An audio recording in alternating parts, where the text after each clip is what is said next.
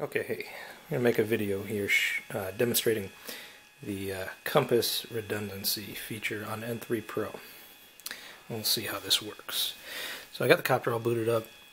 Um, everything's normal. You can ignore firmware upgrade. That's uh, related to my X5 that I can't actually upgrade. Long story there. Okay. Um, let's go in here. Redundancy state. So as you can see, it's set to priority on the extended IMU um, and they're both normal. The extended IMU, of course, is the A3s.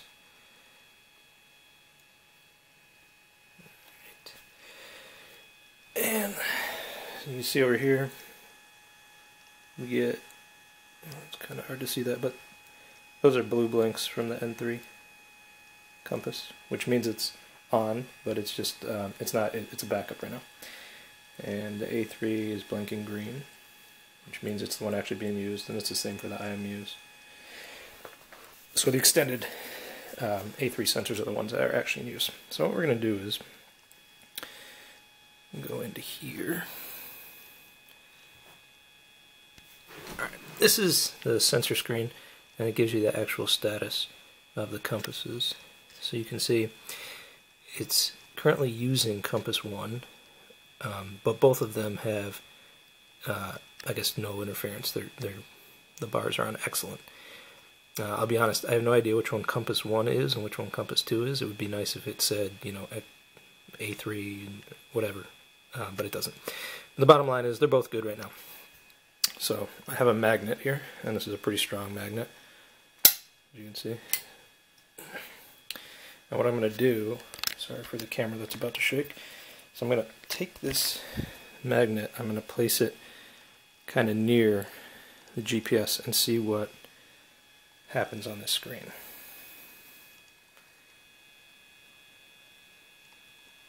Alright, so that's how close I got. Sorry, I moved my hand. I'm about 8 inches away from the A3. You can see it's going ballistic. Both of them say abnormal. If I move it away,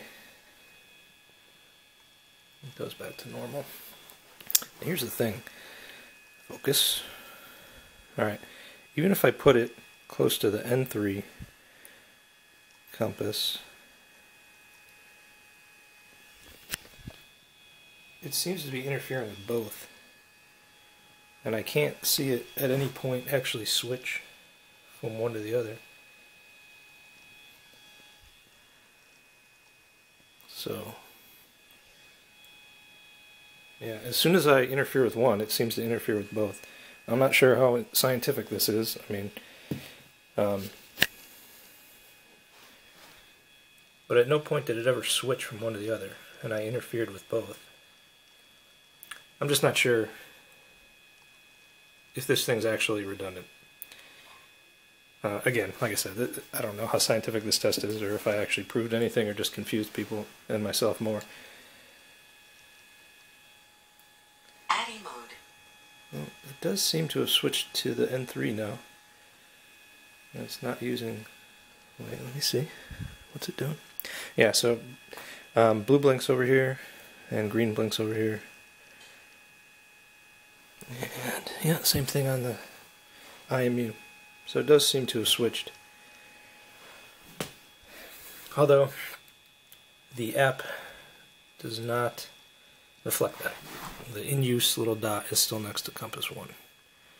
So maybe it is working and it's just the app interface. Let's see here. We go into redundancy state, it'll generate you a little report. Alright, so here's what it said. System requesting permission to switch from extended IMU to inner IMU. Okay. Compass 1, data exception, data exception. Okay, so it definitely did something.